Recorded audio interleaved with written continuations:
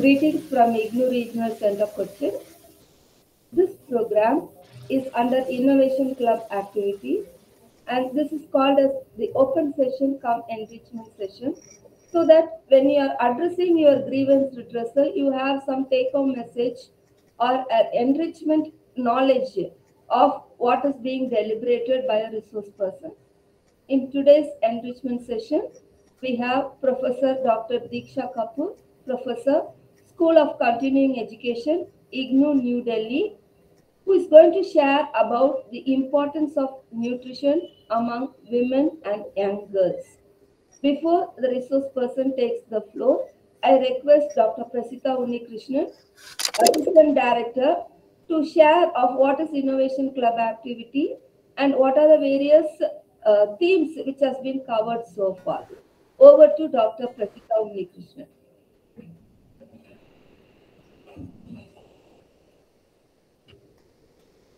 Thank you, Dorothy Madam. Uh, so a very warm welcome to Diksha ma'am for this session.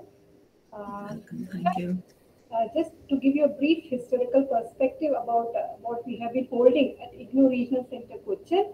Uh, in fact, the Innovation Club at IGNOU Regional Center Cochin was initiated under the encouragement of the National Center for Innovation and Distance Education, which is at IGNOU headquarters Delhi. And uh, under Regional Center Cochin, we have been holding a series of monthly lectures identified as open session cum enrichment sessions since September 2018. And the sessions are usually held with an objective to enrich and generate awareness amongst the learners of IGNOU on a wide range of topics, ranging from time management, career management, e-support services of IGNOU, entrepreneurial opportunities available, innovations in ICT interventions in education, uh, entrepreneurial transformation of the conduct of education in India, uh, life skills for a successful living, uh, and bringing out even the uh, bringing out the best in people, unleashing the power of effective communication, and even uh, about the life enhancement skills which are required for an enriching student life and uh, startup journey, my startup journey. Even the experiences of students on their startup journey has also been shared in these sessions. So uh, it, it's also a platform when the students join to resolve the grievances with respect to the subject they are pursuing in IGNOU. So the last, uh, actually, in fact, we all know that March 8th is the International Women's Day. And uh, it's also a special day for women and the theme for the 2024 Women's Day is Invest in Women and Accelerate Progress. And uh, uh, as a part of the celebrations of the International Women's Day, uh, we are holding this session. So, so we are very happy to have you, ma'am, for this session. And uh, I'm sure our uh, learners as well as this uh, se- uh, who are viewing this session would be uh, taking home many uh, many good uh, points from your session. So I warmly welcome you, ma'am, to the session on importance of nutrition among women and young girls.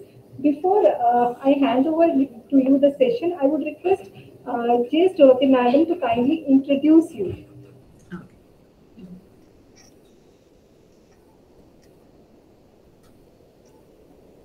Professor Diksha Kapoor, ma'am. She has done her PhD in nutrition from University of Delhi and after completing MSc Nutrition, Food and Nutrition from Lady Irwin College and BSc Home Science, Lady Irwin College, Delhi.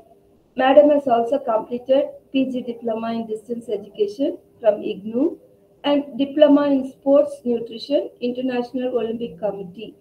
So, ma- Madam has been uh, an eminent nutritionist, a professor uh, in the School of Continuing Education, and also very good senior for all the men and be a mentor for uh, juniors like us throughout our uh, career at IGNOU.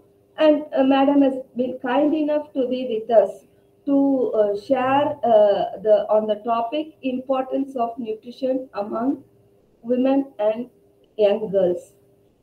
Remember, friends, you have been uh, accustomed with two terminologies. One is you are what you eat, and Eat Right uh, India movement, both which has been covered in the International Year of Millets last year. If you want to revisit of on Eat Right India movement and International uh, Year of Millets, please visit the IGNOU Regional Center Cochin YouTube channel and be benefited. Now oh, the floor is uh, thrown, uh, given to Professor Diksha Kapoor to handle the session on importance of nutrition among women and young girls. Okay, um, thank you, Dr. Dorothy. It's such a pleasure to be here today and a very warm uh, good afternoon to the RC Kochi, um, to you, Dorothy, to your staff, to the students who are here today, and all others guests who are here listening to this talk as Dorothy has already informed that it is part of the uh, Women's International Day, or let me call it Women's International Week, because we've gone past it. And, um, you know, celebrating Women's Day, Women's Week is all about, you know, creating an awareness, creating an awareness about um, what is the status of women, how we can empower them, uh, what they are eating and in that context, this idea of um, uh, Dr. Dorothy to invite me to talk about nutrition for women and young girls, I'm happy this is the focus. And um, for the next 30 minutes or so, I will be, uh, well, I can't cover everything, but I will try to do justice to this important aspect, which is of great uh, importance, particularly for India. What I'll do is I'll share my presentation and uh,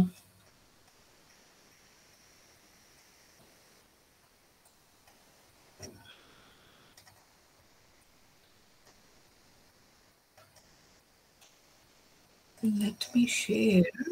No, no, just a minute. Your screen, why can't it share? Give me a minute. Let me. Window, I'm not able to. Hmm. Okay, now I can share. Yeah, can you see? Can you see? Yes. Can somebody tell me if they can see my? Yes, ma'am. You can see it? Yes, ma'am. Yes. Yes? Yeah, okay, great. So, um, let me see if I can put it on a slideshow and if we can see it um, from current. Yeah, now is the slideshow on? Yes? No, ma'am. No, ma'am. No, it is not? Uh, okay, then I think I'll have to just get back and start. Uh, I'll then not uh, do it there, but I'll just start from the first slide again. Just give me a second. Yes. Yeah, now you can see? No, ma'am. No, ma'am. No, you can't. Uh, you can't see the slide. No, we can see the slide, but not in a slideshow mode, ma'am. Okay, but you can see the slide. Great. So, so today the topic is about importance of nutrition for women and young child. So, what I'm going to talk about. Let me begin by talking about the nutrition and health status. What do I mean when I'm saying nutritional status of women young girls. Basically, nutritional status is the condition of health, which is as influenced by the utilization of nutrients which are present in the food which the women, young girls are eating. So it's like a um, um, we must understand, we must know where do we stand today. What is the report card, the nutritional and health report card of women in our country, of young girls in our country? So, the first 10 15 minutes, I will take you through to give you an idea of where we are.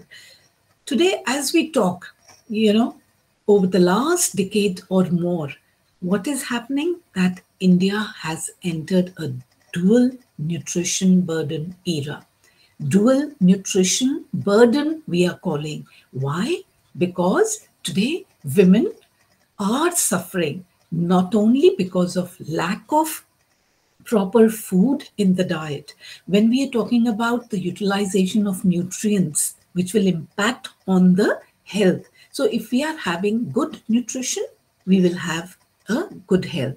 When our diet is poor, the outcome is malnutrition. So today, what we see is that India is passing through a dual nutritional burden. On one side, we see our population groups, the vulnerable groups like women, young girls, uh, children under five years of age, they are suffering from undernutrition, which means poor nutrition. And this, whatever I speak today, I'm going to be supporting it with the national data. It is not my data, it's the national data. The national agencies are giving us this data to give us a picture of where we stand today.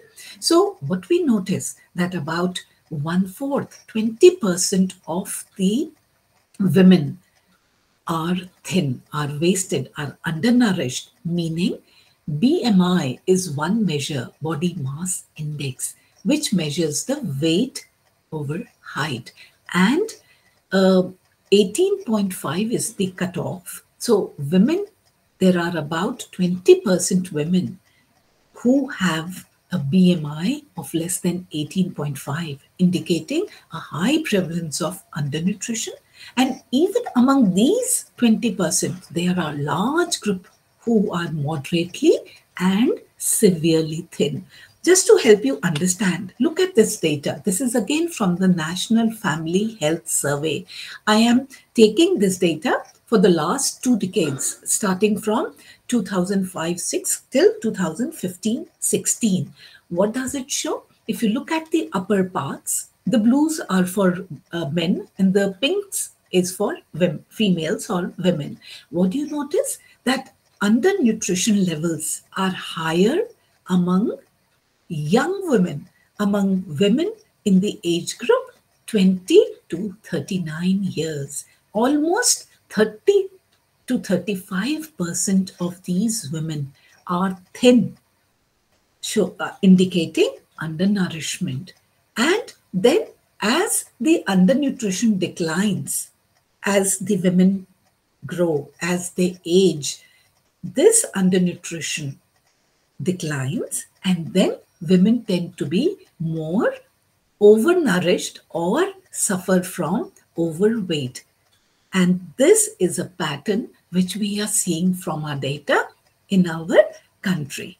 Now, if I move further, if you look at this data, which is the stunting data, the first parameter I showed you was for thinness or wasting among women, which is giving us a picture of undernourishment. Similarly, stunting, stunting meaning low height or less height, that if you look at the prevalence of stunting among adolescent girls 15 to 19 years, here is the picture for the entire country for urban, rural, but what it's a rather small figure, but in the box at the bottom, what I'm trying to show you is that just in the last two decades, from 2005-6, 29% of adolescent girls were stunted, meaning they had a height less than that it should be for that age. And that figure too has gone up to about 34%. And more girls are stunted as compared to boys. So, what does this stunting indicate? Stunting is not easily um, you know, it doesn't exhibit easily. It is only when there is chronic undernutrition, when the individual has been um, subjected to lack of food for a very long period of time, that the height of the individual is also being affected. So this is the situation today as we talk that large number of adolescent girls today are stunted. If we go further down, we started with women, we went on to 15 to 19. Look at the figures for uh, children under five years of age and particularly young girls. What do we see? There is widespread of malnutrition, protein, energy, malnutrition among these children. And how do we get to know? We look at their wasting, which is the weight for their height, underweight, the weight for their age, and stunting, we look at their heights for that age. What does this data tell us? If you look at it, wasting. Wasting is low weight for height, as I've just told you. It is a life threatening um, condition which is caused due to insufficient nutrient intake, which means the children are not getting enough food to maintain their uh, weight uh, for their height or for their age. Severely wasted children under the age of five. Look at the last block here. In the last three decades, starting from 2005 6 to today, 2019 21, that is the latest data we have on wasting. What do we see? Instead of so many programs being put by the government, the feeding programs, the uh, prophylactic programs, the nutrient supplementation programs, still we are not able to control. The um, figures have gone up from 6.4% children who were severely wasted in 2005 6. That number has gone up to 7.7% today. And as uh, I'm just telling you, it's a life threatening. We are uh, having a large mass of children who are wasted. Look at the stunting and the underweight figures, the first and the second bars. Almost one third of our population under five years of age are either underweight, meaning they have a weight less for their age, or they are stunting, stunted, having a height less for their age. And particularly stunting, as I've said, it is an indicative of chronic energy deficiency and it undermines not only the physical growth, but it, today the uh, recent studies data is showing that it impacts on the cognitive development of children. These children have low memory, low IQ, low concentration power. Why? Because of lack of proper food for these children. Similarly, one third of the children are underweight. So what we are seeing that these children are not only facing immediate uh, health impacts where they will be suffering from infections, disease, mortality, morbidity, but they these kind of figures or this kind of undernourishment has a long-term health impact as well. So today, recent research is showing that the risk of non-communicable diseases like obesity, diabetes, um, cancers, or um, hypertension, these are also um, rising when these children grow up who are undernourished now. They are at risk of developing these diseases later in life as well. So this is the report card which we I was talking about and I wanted to create an awareness. This was about the undernourishment or what they are eating in terms of macronutrients. Look at uh, this, uh, what I'm uh, displaying now is the prevalence of anemia.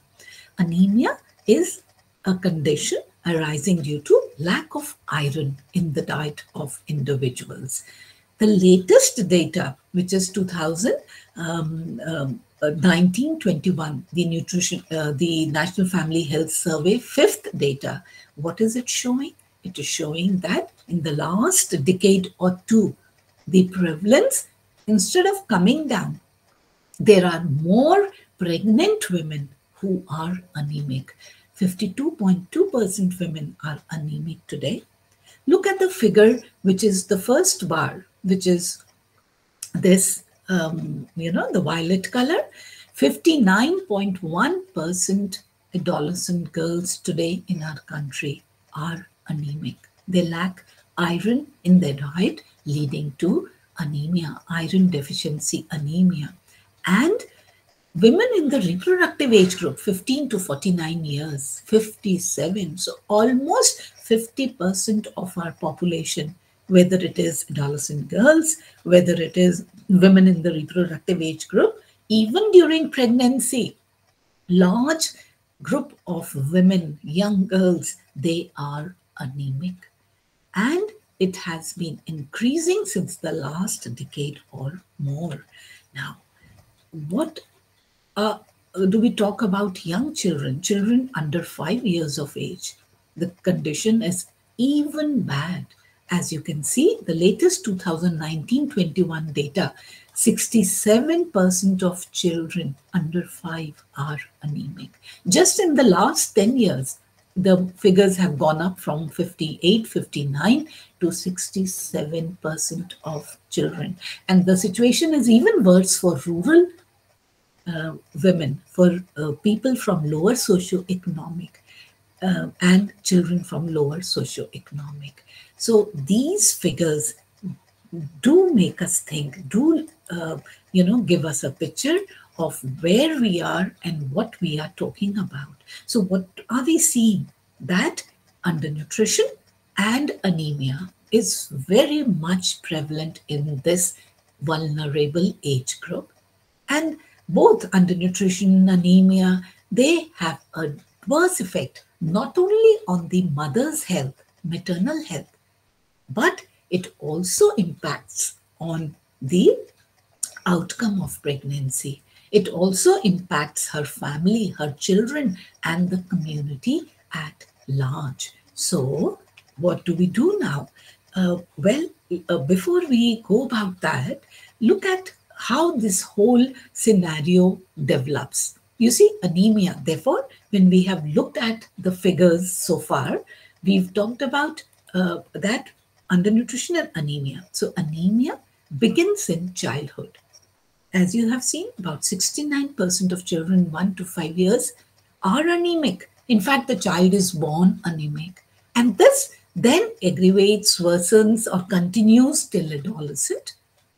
And it gets aggravated in pregnancy. So, a woman who is anemic, such a woman will give birth to a, a baby who is of low birth weight. Low birth weight baby is a baby of weight less than 2.5 kgs. So if you look at this diagram here, which I'm trying to show you, that severe anemia, anemia is assessed through hemoglobin concentration in the blood. So a value of less than 8 uh, gram per deciliter is indicative of severe anemia. In case of severe anemia, see what is the birth weight of the child? It is less than 2.5 kg. But the good thing is that effective treatment of anemia, it improves the birth weight. This is what studies show. Just a little iron in the form of um, uh, whether we are giving a tablet to women, which is part of most of our programs.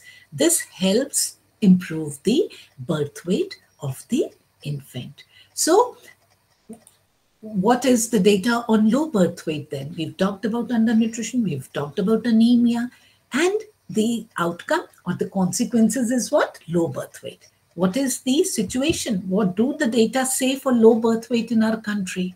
Today, the latest data, again, the NFHS 5 data tells us that about 16 to 17% of children are still born low birth weight in our country. Though this prevalence uh, has come down from it used to be just a decade back, 30% of our children were born low birth weight.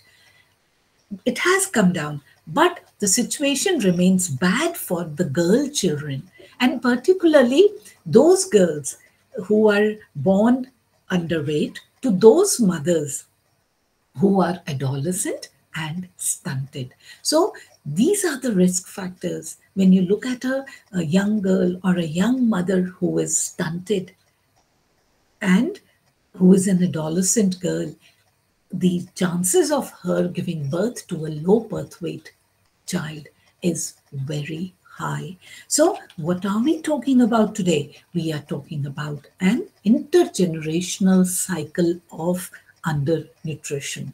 It is just not a one point thing um, that okay the child when she is um, young she gets uh, does not get enough food. It is an intergenerational deficiency of food for many of our women and young girls in our country. So just to help you understand the concept a child is born with low birth weight. That means that that mother whose diet is deficient in most of the nutrients has anemia, she's about to give birth to a child who is of low birth weight. Such a child, and particularly a girl child, she has a very low chance of survival. Even if she survives, the morbidity is the disease. That prevalence is very high. Okay? And along with it, if it is a girl child, inadequate child care, inadequate nurturing, the learning opportunities are limited for this girl child. And more important, there is a the peril of elimination in infancy itself. The child will be eliminated. So these inequalities with which she is born leads to this child to be um, undernourished in terms of growth faltering she will the child will have growth failure as the data is already pointing out that she is stunted. Almost one third of the young girls under five are stunted. 35% are underweight and about 20% are wasted. Why? Because of inadequate food, inadequate childcare. And this peril of neglect, this inadequate education, learning opportunities. And by this time, if you have seen, mostly in lower income families or in rural areas where the parents are going out to work this child has the responsibility of also now looking after the younger sibling at home so all these things put more burden and this child then further her growth uh, norms her growth standards her growth is affected and she is having low weight and height as i've shown you the thinness data there are about 20% of these girls who are stunted, who do not get enough food, and they have low weight. Now, when they are at an adolescent age, many of them have an early marriage. Early marriage means early childbearing. There will be physical stress. There will be further depletion of nutrients leading to this woman who is already in a growth phase herself. Now she will embrace motherhood and there will be further depletion of nutrients from her body and she will be a low weight, low height woman now. So the biggest risk factor for undernourishment or for pregnancy today is a woman with weight less than 45 kgs or height less than 145 centimeters, such a woman will give birth to a child who is of low birth weight, who will be anemic. And then this vicious cycle continues, continues generation after generation. And that is why where we are today in spite of so much of intervention, so much of money, so much of, um, you know, uh, kind of uh, programs which have been put in place for the uh, improvement of the health, nutrition of women, children. I have what I have presented is the national data and we can very well imagine ourselves what is the report card for these women. So what are the nutrition challenges we are facing today? One in every two women is anemic, one in every third child is stunted, one in every three child is malnourished. It goes on, one every fifth child is wasted, thin, and there are large number of children who die within the first year, which is the infant mortality rate and maternal mortality rate not only the child, but the mother also dying during childbirth. And all these things is because why is this situation happening? This is because of what we've talked about is the nutritional aspect. All these things are linked to the maternal diet, to the child's diet. I will talk about it just subsequently. So this is the picture of undernutrition, what I have talked about. Next, I want to talk about, I told you it's a nutrition, dual nutrition burden. On one side, our population is suffering from undernutrition. But today, what are we noticing? that India, particularly even in women, we are emerging as a public health. You know, these overnutrition is emerging as a public health problem, particularly more so in urban areas, not as much in rural areas, but it's catching up even there.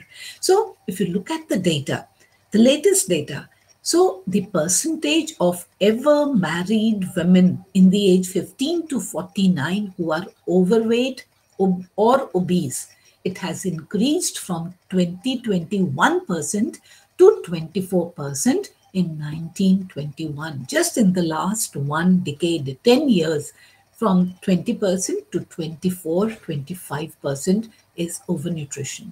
So here we are. You see, um, about 10 years, two decades back, say in 2005 6, there were hardly 11% or 15% of um, um, women who were obese. Today, it has almost doubled.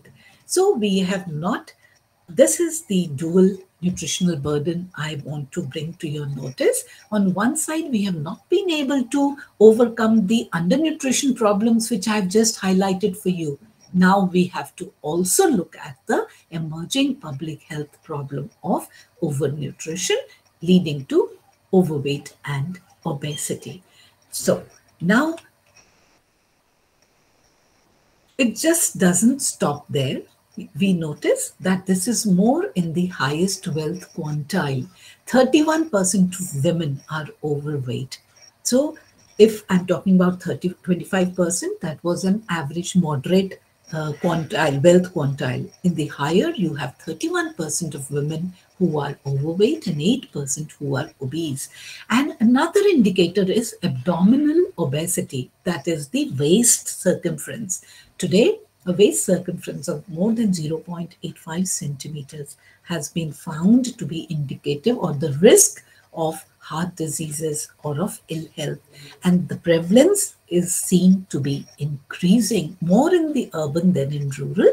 Almost 53.1% of the total population has a waist circumference which is higher and 18.8 even in the rural areas in rural areas where men or women were doing more of physical work even in them so the activities have come down and this burden of overweight is now facing us all right so what is the cause of all this?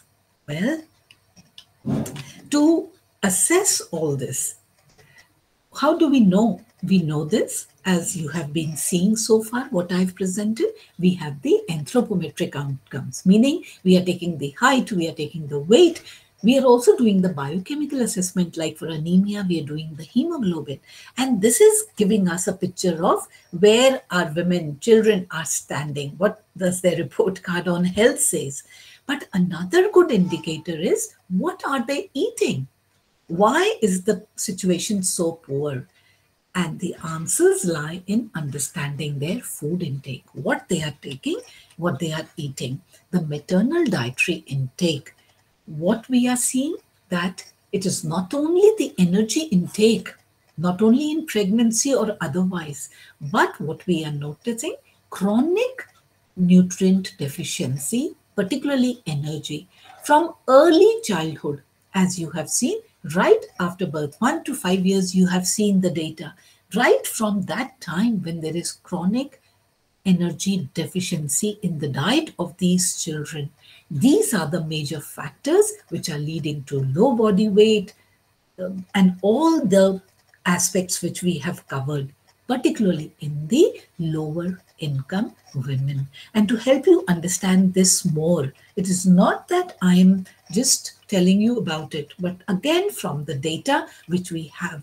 You see, what I'm presenting, this is my plate for the day. This is the um, ICMR, National Institute of Nutrition. What do they tell us? What we should eat.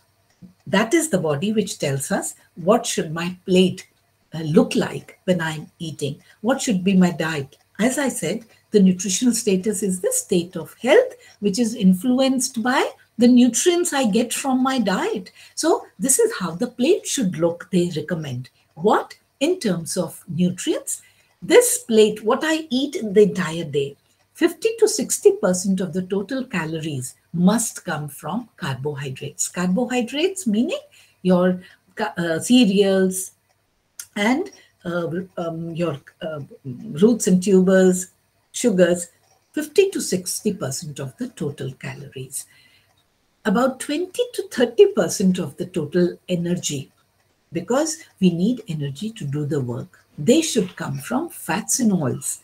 And 10 to 15% energy from protein foods, which are the body building foods. Of course, uh, proteins, the major function is to build the body, maintain the body, repair the body, but they also provide energy. Okay, but if you look at this plate, the left side, it is full of fruits, seasonal fruits, vegetables, which are the protective food. These are the foods which prevent us from all the deficiencies, diseases, the conditions I have been talking about. This is what they recommend that um, the recommendations they give us that how much should a pregnant woman eat, how much women should eat, they say that all essential macronutrients like the essential amino acids, essential fatty acids, all the micronutrients like iron, vitamin A, iodine, calcium, all these should come from whole grain cereals, variety of green and leafy vegetables, other vegetables, pulses, beans, they must be included with the recommended level of milk. Milk is the most important, which needs to be included. This is what the recommendations. This is the importance of nutrition. This is what we need to eat. But what do we observe? This is the plate for a rural and for an urban population, particularly when we look at this for the women and children. What do we see? Cereal and millets. Uh, I mean, just looking at the plate, you can get an idea. Whereas the whole half plate should have been of protective foods. We have three fourths of the plate having cereals. So in the urban, uh, the recommendations say that the from cereals and millets, 45% should of the energy should come from them. Whereas uh, in the urban and rural, if you look at it, 49 and 69 for pulses, meat, poultry, which give protein, 14%, whereas look at the amount, only 8.8% in the urban and even lower 6% in the rural. Fruits and vegetables, mm-hmm. which are the protective food, and 8 to 11% of the energy must come from there.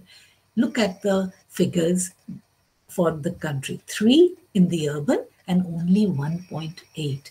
Likewise, whole nuts, oil seeds. But look at the last one other foods, chips, biscuits, sweets, the highly processed foods, which are now flooding the markets. If you look at it, highest 10% energy is derived from there in urban. Rural also is not far behind, 4% is coming from there. So, what do we observe? What is the common observation? Across most population groups, these carbohydrates are coming from starchy cereals. They are being consumed in excess of than the recommended level. What are the starchy cereals? Uh, refined cereals. Then potatoes, sweet potatoes, this kind of food is coming more. And the healthy whole grain cereals, millets, they are totally being out of our diets.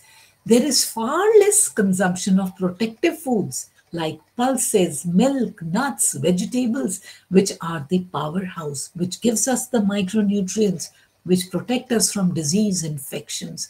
They are hardly included in the diet.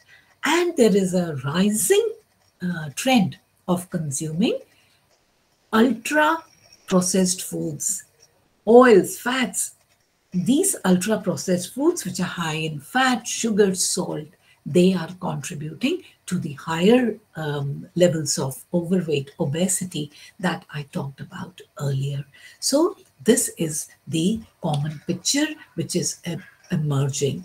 And look at the frequency of consumption of specific foods. This is a decade back data I'm presenting, you have milk and milk products, you have pulses, most of it, if you notice, for fruits, if you look at eggs, fish, which are the protective foods, dark green leafy vegetables, hardly, very rarely, these are being included in the diet. And that is where we are faltering. That is where the incidence of anemia and other public health problems are on the rise. And look at the average intake of food stuff as percent of RDIs. What is happening? Over the years, the cereal and pulse intakes, uh, this data is from 2075-77 um, till 2006. This is the National Nutrition Monitoring Bureau data. 2006 and I've tried to just compare and give you an idea. Cereals, pulses intake all have come down. Look at the green leafy vegetables. A little increase over the years, but still very low. But there is an increase in the fat intake. Slowly, slowly, the fat intakes are going up. Intakes of fruits, vegetables continue to be very low. So eh, under such scenario, what is the nutrient intake in rural and urban areas? Once again, energy intakes are coming down, but what we need to know or we need to be careful are the micronutrients. Look at the iron intake. The iron intake in the last four decades, instead of being able to provide for, they have come down, both in rural and urban areas. Look at the vitamin A intakes. They are also coming down and the other B vitamin um, minerals, uh, sorry, the B uh, vitamin, B complex vitamins plus folic acid. The intakes have come down. So iron folic acid deficiency, we see today is one of the major problems affecting and leading to high prevalence of anemia in our country. Vitamin A intakes are so low that uh, preschool children, girls, have night blindness. Why? All these diseases have food, nutrition as the common cause. Lack of food in the diet has led. And that is where the importance of nutrition, because eating less food just does not impact, as I've been saying, the physical development. It impacts the cognitive development. It impacts the future generation. It impacts the whole life cycle. Therefore, we must understand that the time trends in energy intake, I can skip this over the years, even they have come down. Look at the uh, nutrient intake, particularly the energy intake for pregnant women. One would expect that during pregnancy, the women's diet should be good because she is supporting the growth of a fetus inside her. In the last four decades, starting from 75 to 2005 6, look at the energy intake the energy intake even in the diet of the pregnant women. Instead of eating more her her um, intakes are going down. So this is what is the scenario and that is why we need to create an awareness today we have multiple burden of malnutrition affecting our population this vulnerable women on women's day if we really want we need to create awareness. We need to talk about undernutrition. We need to talk about low birth weight, micronutrient deficiencies affecting women, overweight, obesity, which is not far away. And that is why. And all these, you would see the causes poor diets leading to malnutrition, whether it is lack of food or whether it is excess of food. So, what do we do? there are many recent initiatives. We have the Poshan Abhiyan, that is the flagship program of our Prime Minister um, Modi ji, and it the major focus is to improve key nutrition parameters for both women and children. And many activities have been planned, like every September is the Poshan Maah across the country. And the idea is to spread awareness about women, nutrition related issues, make this month as a public movement, a key you know, it's like a Jan Andolan where nobody should be spared. It's like the Polio Pulse Abhiyan, where now the polio is totally eradicated, we need to do something that aggressive if we want our children, women to be healthy. And the targets were set by the National Nutrition for 2022, and we have already crossed it.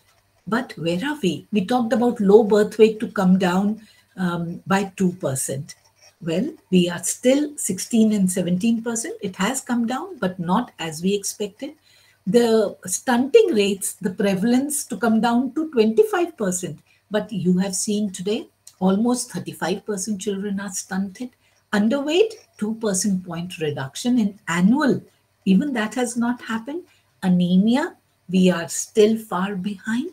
So we need to aggressively take up the cause of nutrition cause of um, providing good health for our women and children because the uh, health of the new generation, next generation, depends on the diet health of the mother, adolescent girls, and children.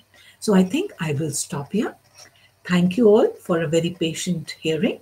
If there are any uh, questions, I'll be happy to uh, take them from here on. Um, so I'll stop here. Dorothy? Yes, ma'am. Yeah.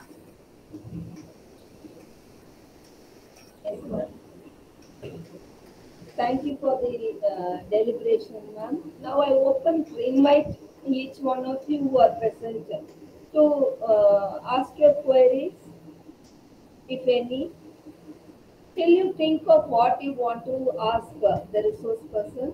I have, uh, as part of the Innovation Club activity, we also share about the SWAYAM courses uh, uh, which are available, which can be uh, easily enrolled and only if you need a certification, you need to pay the fees. So as learners, we encourage you to be benefited from the courses available in the SWAYAM portal and also be informed that IGNOU programs, the courses, that is IGNOU program subjects, as individual courses are also available in the SWAYAM portal. So please be benefited. And as per the new education policy, academic bank of credits is also applicable to the SWAYAM courses as e-certification. And friends, we also want to share about life skill and I will link it up with what we are hearing. Yeah. Uh, Dorothy, maybe you could just highlight about the awareness programs like the Certificate in Food and Nutrition program. We have three courses on SWAYAM, independent. So, you know, for creating awareness about food, what to eat, what is nutrition, I think we can, since you're going to, you have recorded it and you're going to put it for the learners also for them to uh, look at it at a later stage. Similarly, the Diploma in Nutrition and Health Education program. We have many courses which are also independent courses. The DNHE in itself is a very important course which the students can, you know, or the general public. Once you put it up on the YouTube, there will be people who will be listening and they can take up this program. Yes, we have uh, in Tamil, in, in English, and in Hindi. We have Yes. done a promotional meeting for this uh, CFN, DNHE, BECE programs uh, offered by SOCE. And please be benefited, friends, by visiting the IGNOU uh, Regional Center Cochin YouTube channel. Friends, you are listening about the importance of nutrition, of how it affects one's health, more so a women and therefore the family, and how uh, the food you eat has an impact across the generation, the nutrient uh, imbalance, and how we can rectify it. It's all one day at a time, I should say. And as uh, people say, most of the skin care is based on what is uh, eat, uh, eaten or consumed as food. So many a time we think that it is possible to maintain a good health by taking some um, uh, supplement uh, by way of capsules or by way of health drinks. But not always it helps. As Madam was sharing, a rainbow or a colorful meal uh, plate is, is one indicator that you are having enough nutrients in your daily diet. As a life skill education, we just want to uh, share two things related to the food you eat. Is that uh, are you able to consume the food without skipping your meals? Or do you rush through your meals? You drive and eat, you walk and eat, or you wrap and eat, or how uh, do you, the skipping of the meal is always compensated by the work you do? It should not be. So please uh, make it a, a regular habit to consume the food and take one day at a time when it comes to your meal planning and never uh, postpone the eating time or uh, the food you eat or accumulate the food to eat. Uh, say for breakfast you are eating along with the lunch or the uh, along with the evening snack and the like. So you are what you eat. Eating right is also important, and the nutritional uh, condition of you determine the health of the of you as an individual and also has an impact on the health uh, aspects of how we are going to uh, survive as an adult and beyond across the generations right from birth up to the uh, uh, end of the life in this earth. So, uh, your nutrition uh, of uh, the food you eat has a very important role. So, with this thought of action, uh, we um, we thank uh, uh, Professor Diksha Kapoor for being with us, for sharing a vital topic which is relevant to each one's health and the recording of this session will also be made available to the YouTube channel so that you can visit and uh, revisit uh, of what is being told by the resource person and be benefited and you can share it across to your friends also who missed to attend uh, the session. And uh, with this, we thank Madam for being with us. Uh, and uh, we are also grateful to each one of the learners who have been with us and who have been uh, uh, listening to the Facebook Live session also.